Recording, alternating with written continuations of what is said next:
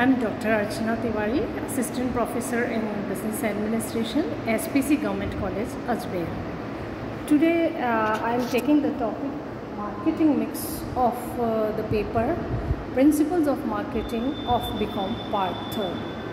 Marketing mix यानी कि विपणन मिश्रण मार्केटिंग मिक्स की यदि हम बात करें तो इसमें हम फोर पीस बेसिकली इन्वॉल्व करते हैं आ, इन फोर पीस को इन्वॉल्व करने से पहले हमें देखना होगा कि मार्केटिंग मिक्स की अवधारणा कैसे जन्म अवधारणा ने कैसे जन्म लिया है।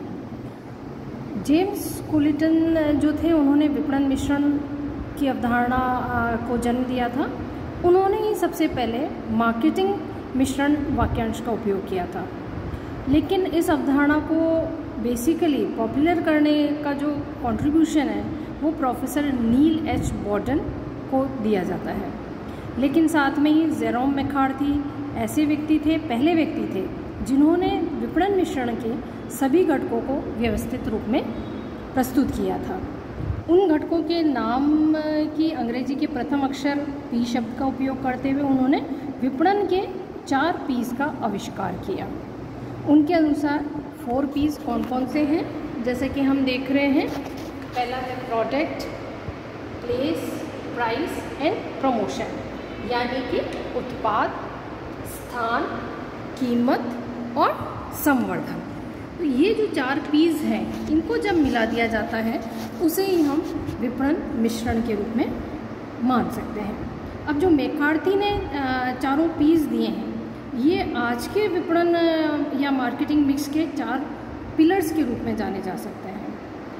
जैसे कि मेकार्थी ने खुद ने भी लिखा है कि marketing mix is a pack of four sets of variables namely product variables price variables promotion variables and place variables यानी कि विपणन मिश्रण चार चल घटकों अर्थात उत्पाद घटक, मूल्य घटक, संवर्धन घटक तथा स्थान घटक के मिश्रण का पिटारा है एक तरह से ये। तो इस तरह से हम कह सकते हैं कि विपणन मिक्स क्या हुआ? इन चारों का जब कॉम्बिनेशन कर दिया जाए, चारों पीस का कॉम्बिनेशन कर दिया जाए तो उसे हम मार्केटिंग मिक्स के नाम से जान सकते हैं। या और अगर ईजिएस्ट वे में हम देखें तो उन विपणन विधियों, क्रियाओं, घटकों, औजारों या उपकरणों का संयोजन कॉम्बिनेशन जिसकी सहायता से कोई संस्था अपने विपणन कार्यक्रम को न्यूनतम लागत मीन्स मिनिमम कॉस्ट पर मैक्सिमम इफ़ेक्टिव सिस्टम से अगर लागू करके अपने विपणन उद्देश्यों को पूरा करता है तो उसे हम विपणन मिश्रण कहते हैं।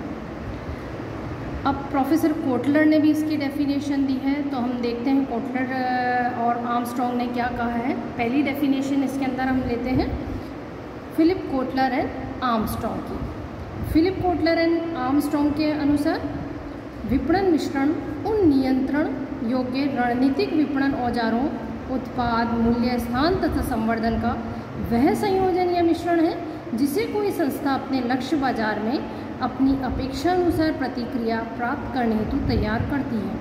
विपणन मिश्रण में वे सभी चीज़ें सम्मिलित होती हैं, जिनसे कोई संस्था अपने उत्पाद की मांग को प्रभावित कर सकती है। इसका मीनिंग हुआ कि marketing mix is a set of controllable. यहाँ पे इंपॉर्टेंट चीज़ क्या है? कंट्रोलेबल और टैक्टिकल टूल्स कंट्रोलेबल टूल्स कौन से होते हैं। Product price place and promotion that the firm blend to produce the response it wants in the target market the marketing mix consist of everything the firm can do to influence the demand for its product तो कहने का तात्पर्य है कि चारों piece जब मिल जाते हैं तो उसे हम मार्केटिंग मिक्स का नाम दे सकते हैं। और इसमें ज़रूरी यह भी है कि जो भी मिश्रण बनाया जा रहा है, वह मिश्रण संस्था के लिए एक तरह से मार्केटिंग टूल का काम कर रहा है। इसी तरह से सेकेंड जो डेफिनेशन हम लेते हैं, वो लेते हैं स्टेंटन की। अब स्टेंटन ने मार्केटिंग मिश्रण के बारे में कहा है कि marketing mix is a combination of four elements product pricing structure distribution system and promotional activities use to satisfied the needs of an organization's target and at the same time achieve its marketing objective. अर्थात विपणन मिश्रण चार घटकों, उत्पाद, मूल्य संरचना, वितरण व्यवस्था तथा संवर्धनात्मक क्रियाओं का संयोजन है कॉम्बिनेशन है, जिसका किसी संस्था के लक्ष्य बाज़ार की आवश्यकताओं को संतुष्ट करने तथा साथ ही इसके विपणन उद्देश्यों को पूरा करने के लिए उपयोग किया जाता है। तो इस प्रकार से हम कह सकते हैं कि विपणन मिश्रण क्या हुआ? उन समस्त घटकों को हम इसमें इन्वॉल्व कर सकते हैं या साधनों या औजारों के मिश्रण को कर सकते हैं, जिनका कोई संस्था अपने ग्राहकों की आवश्यकताओं को संतुष्ट करते हुए विपणन उद्देश्यों को कुशलतापूर्वक पूरा करने में उपयोग करती है। तो ये तो मीनिंग हमारा हुआ मार्केटिंग मिक्स का। मार्केटिंग मिक्स का आई थिंक आप सभी को क्लियर ही हो गया है कि मीनिंग क्या हुआ। अब हम लेते हैं इसके फीचर्स या कैरेक्टरिस्टिक्स ऑफ़ मार्केटिंग मिक्स पहली इसमें विशेषता हम लेते हैं, यह क्रियाओं, नीतियों आदि का मिश्रण। है इट इज़ अ कॉम्बिनेशन किस किस का कॉम्बिनेशन है? क्रियाओं का है, नीतियों का है। जो भी एक्टिविटीज़ की जा रही है संस्था में सपोज़ अगर हम प्रोडक्ट को लें तो प्रोडक्ट का कलर है साइज़ है वेट है, ये सब देखना पड़ेगा। तो उन क्रियाओं का मिश्रण, साथ ही साथ नीतियों का। कंपनी क्या नीति अपनाने जा रही है? जैसे कीमत नीति क्या अपनाई जाएगी? या संवर्धन क्या अपनाया जाएगा? तो इन सब का जब मिश्रण हो जाएगा तो वो मार्केटिंग मिक्स का प्रारूप बन जाएगा। सेकेंड इसमें हम फीचर लेते हैं स्वयं का मिश्रण। इसका मीनिंग है कि हर एक कंपनी को स्वयं का मिश्रण यहाँ पर तैयार करना पड़ेगा। स्वयं का मिश्रण तैयार करना पड़ेगा इसका क्या तात्पर्य है? पर्सनल पर्सनल मार्केटिंग मिक्स यहाँ पर तैयार करना पड़ेगा। इसका मीनिंग है कि आ, संस्था किसी और कंपनी का या संस्था का मार्केटिंग मिक्स अपनाने में अगर जोड़ देती है तो वो उसके लिए फ़ायदेमंद न होकर के नुकसानदायक भी हो सकता है। क्यों हो सकता है?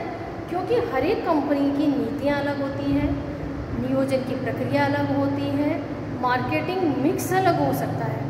तो इसलिए ये कहना बहुत ही उचित है कि पर्सनल लेवल पर संस्था को अपना मार्केटिंग मिक्स तैयार करना पड़ता है तो ये भी एक इसकी बहुत बड़ी कैरेक्टर स्टिक हो सकती है। नेक्स्ट आता है व्यवस्थित अवधारणा।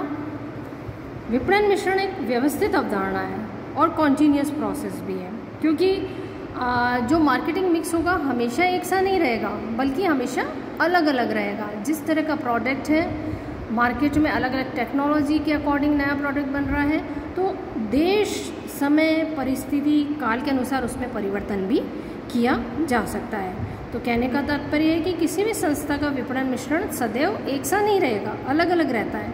इसलिए उसमें परिवर्तन करना पड़ता है। और कैसा करना पड़ता है? सिस्टमेटिक चेंज होना चाहिए। साथ ही साथ कंटिन्यूस प्रोसेस भी हम इसको बोल सकते हैं। तो ये हमने तीन यहाँ पर इसकी कैरेक्टरिस्टिक्स ली थी। नेक्स्ट कैरेक्टरिस्टिक्स हम नेक्स्ट लेक्चर में कंटिन्यू करेंगे।